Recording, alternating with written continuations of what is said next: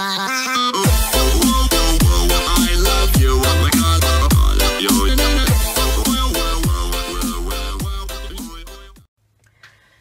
guys, Evan here, or Orgudo58, and I'm back with another video. Um, yeah, so, ooh, 60 subs. Uh, I, I can't even keep up with all the amount of subscribers I'm getting. I can't even, I, I, I, I, I'm out of words, I'm out of breath, I can't do anything. Um, so lately I've been like, I've been like doing a celebration every 10 subscribers. I don't think I can do that anymore. I think that's gonna be really hard to do.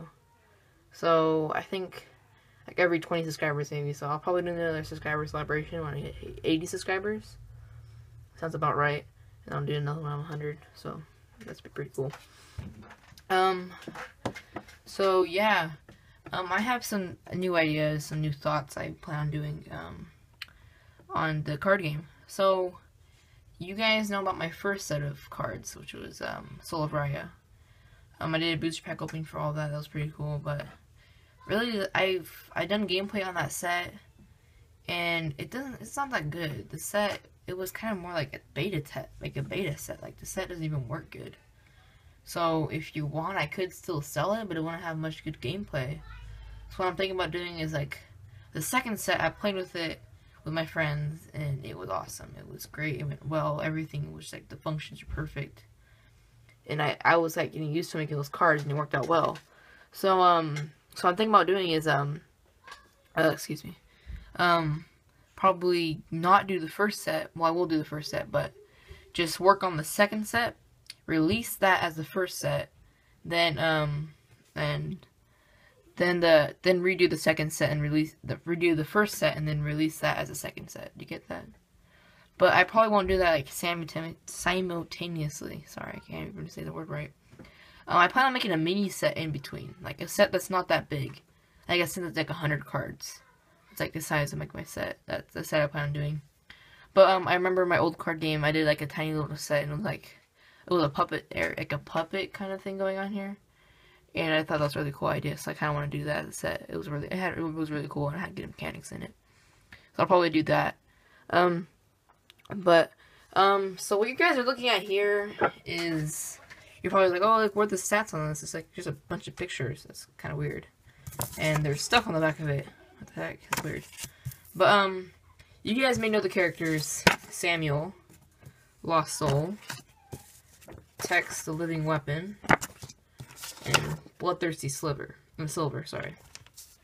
Um, so, I was playing this game on my phone called Star Wars Card Trader and like it's like a game like a ccg where it's not like much purpose in the cards like you don't play with them or anything you just collect them and um and they had this thing called insert cards they're like rare cards and they're like really cool really hard to get and i thought it was a great idea with the put in the card game like that'd be cool uh, like I, i've heard inserts run in other card games too and like they're kind of cool they're kind of like the premium cards from a magic have you ever seen those like premium cards or like the full art cards or like kind of hard to get they're like promo cards kind of that's kind of what these are going at, like promotional cards that you can only get like certain ways.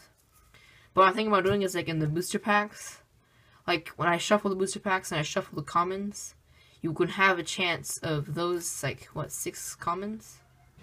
Oh, I think six, six or five commons. Yeah, six, no, seven cards. I think mine is seven commons. I can't remember. Out of those seven cards, you have a chance of getting one of these um, insert cards. So when you look at a normal insert card, I don't know how many I'm gonna make, but it has the name of the character, so Silver. So you see the card's Bloodthirsty Silver. It's the evolve evolved form of Silver. So it has the art on it, then the color representing its faction, which is the Blood Cult, and then um, and then on the back it will have Manaridge. Um, the, that's the logo I plan on doing. That's I'm probably gonna do it digitally too. And Rise of a Cow, which is a set, and then insert 001, which means the first insert. So yeah, they have no play value or anything, but they're really cool to get. And that's like the art on this is like better than the regular art. Like it's like worked harder on. It's bigger and easier to see. So it's focusing on the art mainly. So it looks really cool.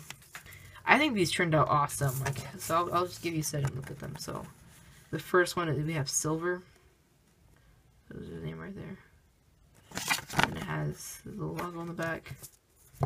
Then we have Tex, which is a living weapon. This is their evolved form. Manaridge, Rise of a Cow, into 002. Pretty cool. And Samuel is Arthur It looks just looks epic. I'll focus on it so you can see it better maybe. Yeah, looks a little nicer. Then Manaridge, Rise of a Cow, it's the third one. Um so yeah, tell me what you guys think about that. That'll be pretty cool. And I plan on doing another series too.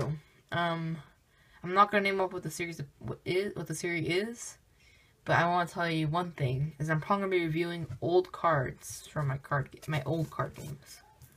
So I cleaned out my desk. If you can see, it's like really neat and everything. You see all my stuff over there.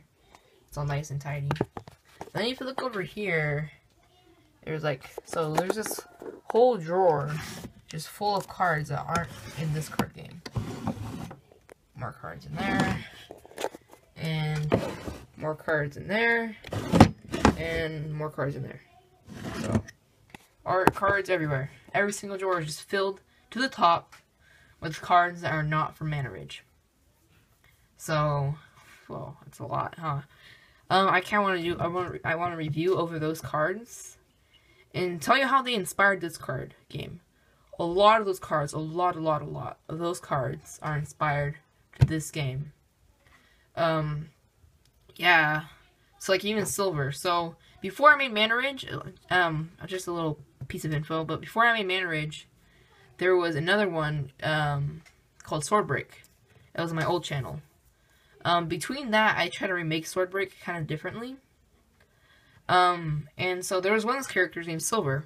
So Silver was just a regular assassin dude. He was a human and everything. And so whenever I first created Silver, like so like I, let me see what the card is, but like here's the original silver. So um, I drew the concept art for him, and then when I was planning on making a comic, I drew like a like the manga or slash anime style art, and like I like I made it like a robot. Like it, it just looked awesome to me. And so when I made the card, I drew the art, and like I didn't draw the species yet. I was like, I'll just make it a robot, a machine. So I made it that, and then when I came with the Evolve cards, I thought it'd be awesome to show like his mask ripped off so you can see his machine parts and everything. See that?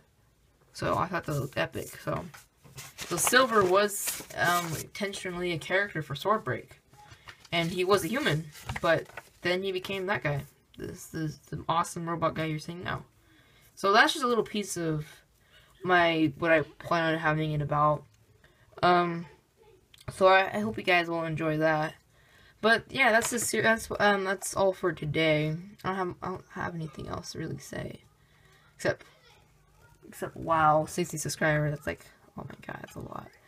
Um, that's kind of it. It feels kind of weird to talk to a camera, just like just talking to it like in your room all by yourself, quiet and everything. But yeah, that's kind of it. so we'll just look at little chibi Johnny. I've had this guy for a while. I don't know what I did with him. I mean, here's Emil. Emil, my favorite character. So, yeah, I hope you guys enjoyed this video. Um, if you did, remember to like and subscriber. Uh, subscribe. What the heck? Subscribe, sorry.